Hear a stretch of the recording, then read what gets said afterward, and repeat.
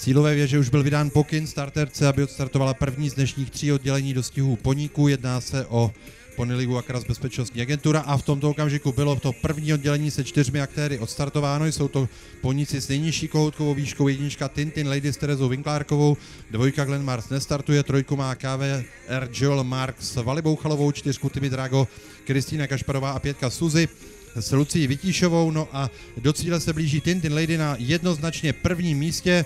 Tintin Lady vede a vítězí Suzy druhá, na třetí příčce nakonec KVR Joel Mark a na čtvrtém místě ten nejmenší, ale nejstatečnější Timmy Drago.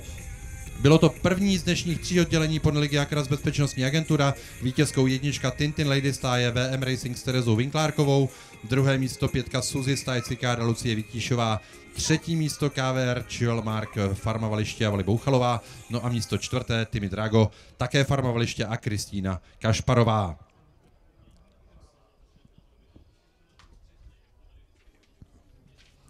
Oficiální výsledek prvního dostihu dnešního programu zvítězila klisna číslo 9 Olinka, druhé místo číslo 2 Leonarda, třetí místo číslo 10 Kazy, čtvrté místo číslo 7 Jura a páté místo číslo 6 River Down. Dále koně proběhly cílem v pořadí 8, 3, 4 a 1. Výrok rozhodčích lehce 5 délek, nos 1 a čtvrt, krátká hlava, krk, půl, půl délky a krátká hlava. Čas vítězky 1 minuta 11,68 setin sekundy. Poplatek stáje pro ten Don Hulínský 200 korun za nahlášenou pomoc u startu koně číslo 10 Kazy.